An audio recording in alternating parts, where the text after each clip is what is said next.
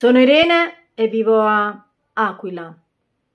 E il mio fidanzato, dopo che mi ha rubato tutto, mi ha tradito e mi ha detto che era tutta colpa mia. E questa è la mia storia. Accominciamo.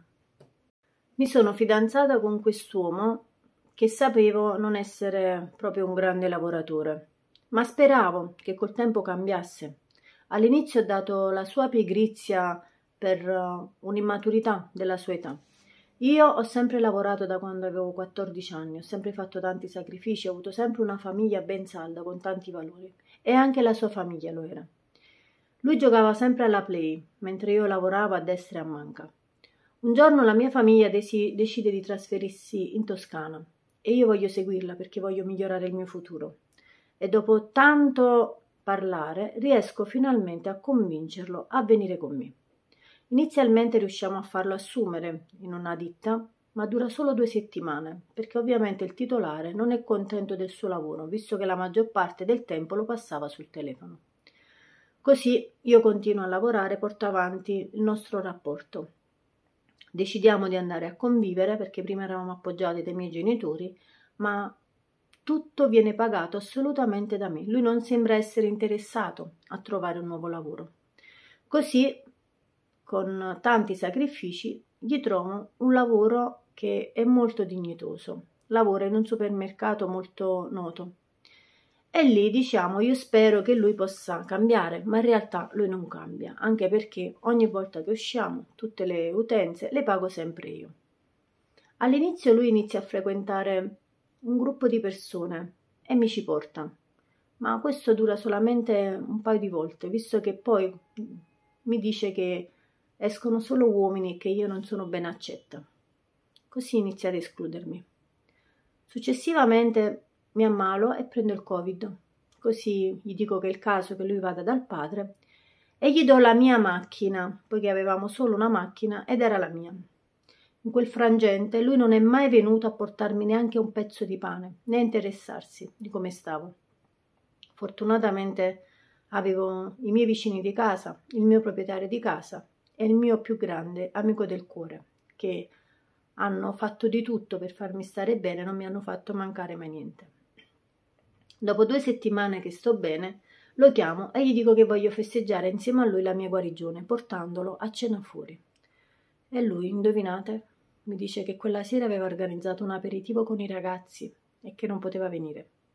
Ovviamente ero delusa, perché erano due settimane che mi mancava. E così per dispetto gli dico che uscirò con la mia amica. Ma lui non se ne fa. Poiché gli serviva la macchina, mi avrebbe accompagnato e mi sarebbe venuto a prendere di nuovo. Io quella serata ero molto triste e la mia amica se ne accorse. Ma non dissi niente. La mia migliore amica. Non dissi niente. Mi tenni tutto dentro. Il giorno seguente dovevamo uscire con una mia amica e prima dovevamo portarla al supermercato. Andiamo al supermercato, scendono loro due e gli dico che aspetto in macchina. Lui dimentica il cellulare e io faccio una cosa che non ho mai fatto. Guardo quel cellulare e rimango pietrificata. Trovo una sua relazione e tutte le conversazioni con un video che ritrae lui e la sua collega di lavoro, molto più grande di lei, sposata con due figli, in intimità. Ripongo il telefono, non prima però di aver fatto tutti gli screenshot e averli mandati sul mio contatto. Tornano in macchina e gli dico che dobbiamo parlare. Lui mi guarda e guarda il cellulare, ma io non faccio trasparire un'emozione. Gli dico tranquillo, voglio dirti solo una cosa. Così lui si rasserena, accompagniamo la mia amica a casa e gli dico di andare in un posto appartato. Così lo guardo e gli dico, mi vuoi spiegare perché? Lui prima nega e quando gli faccio vedere tutti gli screenshot che ho fatto, mi dice che la colpa è stata mia. Sì, la colpa è stata mia perché quando lavoravo troppo mi trascuravo. Eh, io dovevo sapere che a lui gli piacevano le minigonne, gli piacevano gli abiti scollati, una donna sempre truccata. Ma il problema è che mentre a lui piacevano queste cose, io correvo dalla mattina alla sera per guadagnare i soldi, per mantenerlo. Non ho parole. La verità, io l'avrei anche perdonato, perché non volevo buttare nove anni di relazione al vento. Così gli spiegò che se lui non fosse stato innamorato io l'avrei perdonato. E ovviamente lui mi dice che non era così, ma io avevo già in mente la mia vendetta con quella donna. L'indomani siamo a casa e la sera dovevamo uscire. Io decido di uscire solo con le mie amiche, lui esce solo con i suoi amici.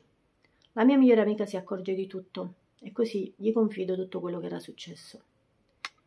Lei lo chiama e gli dice che non mi merita. Nel frattempo io decido di isolarmi, vado a farmi una passeggiata, faccio un giro con la macchina. Mi chiama il mio migliore amico. Gli dico che sono giù, non gli spiego che cosa è successo ma non riesco a versare una lacrima. Cerco di capire perché. Mi sento come vuota. Lui alla fine mi convince a incontrarci e non appena lui mi abbraccia, io piango, come una bambina. Il giorno seguente vado al supermercato per incontrare quella donna e gli chiedo se fosse innamorata del mio fidanzato. Lei mi dice candidamente che non lo è, che per lei quest'uomo è solo uno sfizio, poiché suo marito lavora fuori, lei si sentiva sola. Ho cercato di aggredirla, ma il mio migliore amico mi ha trattenuto e mi ha detto che non valeva la pena sporcarsi le mani con due persone del genere. Così siamo andati via. Da quel momento siamo tornati a casa, io e il mio fidanzato, e ovviamente l'ho cacciato di casa e lo volevo riaccompagnare dal padre. Ma né il padre né suo fratello l'hanno voluto perché hanno detto che non è la persona che ha i valori della loro famiglia e che sono disgustati dal suo comportamento. Anche il fratello mi chiamò successivamente per chiedere scusa del comportamento del fratello, perché loro mi volevano molto bene e sapevano che persona ero. Io lo lascio, non voglio sapere più niente di lui, anche perché scopro che lui mi ha preso tanti soldi, mi ha rubato i soldi sulla carta e quando ho bloccato la carta lui si è fatto fare un versamento dove mi ha prosciugato un conto di risparmi che avevo fatto da quando avevo 14 anni, lasciandomi con soli 12 euro. Ad oggi c'è un avvocato e sto cercando di riavere qualcosa, ma non ho visto neanche un euro. Oggi sapete che cosa c'è? C'è che sono fidanzata col mio migliore amico, l'unico uomo che mi ha sempre sostenuto e voluto bene. Una persona onesta, una persona sincera che mi ha sempre apprezzato. Faccio questo video per dire che a volte è inutile insistere con delle persone che non vogliono creare un futuro con noi, che non vogliono creare un progetto con noi, che non si danno da fare, le persone che vogliono essere mantenute, che non mi vogliono far star bene. Se lui mi ha tradito, la colpa non è mia, perché mentre lui si divertiva, io ero intenta a sudare, a faticare per noi, cosa che avrebbe dovuto fare anche lui. Molto spesso non dobbiamo pensare di affidarci completamente a delle persone che sono così cattive da derubarci di tutto, della nostra stima, della nostra dignità, del nostro tempo dei nostri soldi, dei nostri sacrifici. Buona vita. Sono una narratrice e questa storia fa parte del mio format che si chiama Eroine Invisibili che ho creato il primo giugno 2023 dove racconto storie di donne con fatti realmente successi, ma che per questione di privacy abbiamo scelto di cambiare con nome di fantasia il nome delle donne e le città. Le donne hanno dato solo a me l'esclusiva per poter raccontare la loro vita e la loro storia. Accominciamo.